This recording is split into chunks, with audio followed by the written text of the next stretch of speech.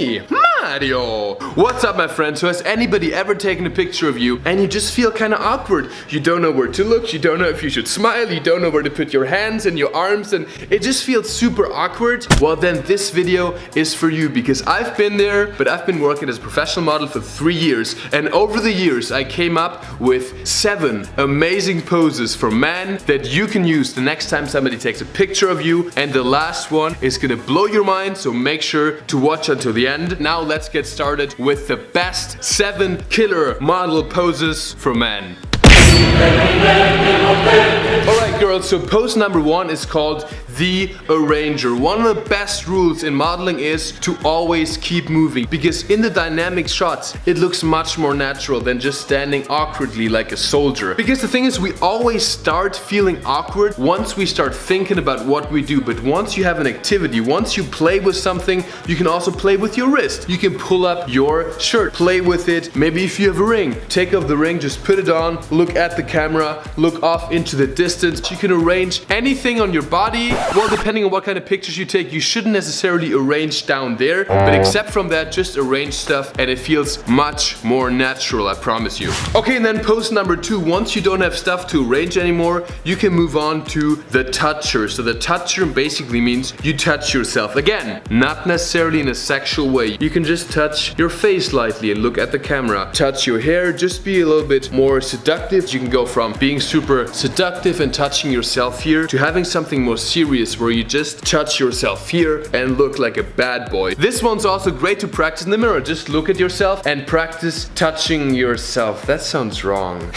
okay, so next one is one of my absolute favorites. It's called the lean on wall pose. Usually when you shoot, you get to a point where it feels awkward. You run out of options. You've touched yourself, you arrange your shirt, and then you just look for a wall. And you just lean against the wall. You cross your leg, look at the camera, just look off. You can also lean against the wall doing this and look over your shoulder into the camera add some body tension, that's always cool if you do body stuff. But find a wall, play with it, don't be afraid to touch the wall. The wall is your friend and it's gonna make you feel a lot less awkward. Thanks wall. I kissed a wall and I liked it. Tasted like a, not quite like a cherry chapstick.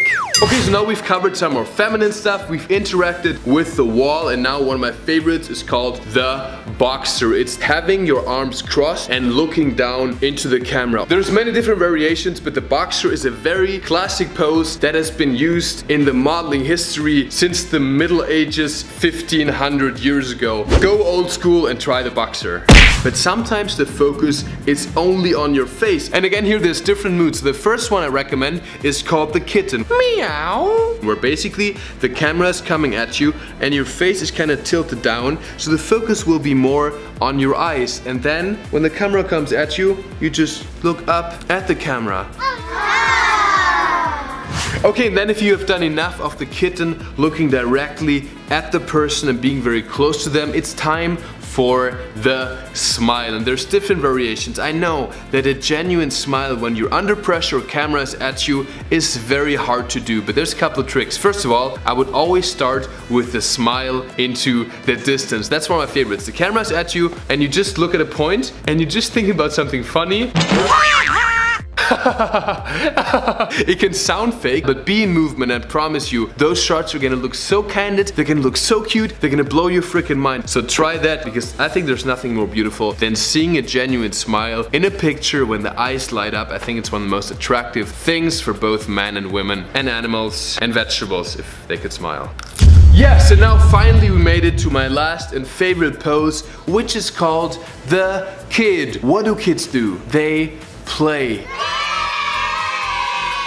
And I truly believe that being able to let that inner child out and to play like a kid is one of the best skills that we can relearn as adults. So what you're gonna do, you're gonna be at a photo shoot, camera's gonna look at you, you're gonna give it a little wink, maybe be a rock star, maybe like, ah, look at the camera like this. Then you're a freaking rebel and you really don't like the camera at all. So you show the camera, you show your tongue, you really could be a bit aggressive at the camera, but then again, you like the camera again, so you flick your hair back. You really have nothing to lose. And of course, sometimes poses are gonna be too extreme. In some occasions, you don't wanna be winking at people, but when you come back from the wink, there might be a moment in the movement when you come back from the wink, and those moments are the most natural moments. So I challenge you to exaggerate your poses and play like a child. Those poses doesn't matter if you want to be a professional model, if you want to take family portraits, or if you want to look cute on your next Instagram story. It all comes down to the same principle. So first of all, arrange your clothes. Secondly, if you don't know what to do, just touch yourself. Play with what God's given you. That sounds so wrong.